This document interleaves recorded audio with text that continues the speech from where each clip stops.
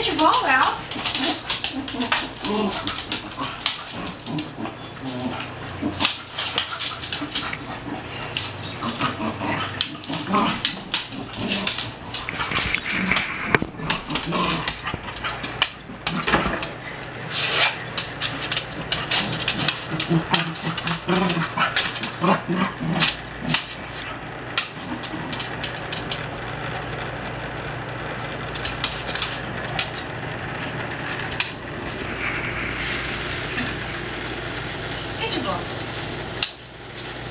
Now he goes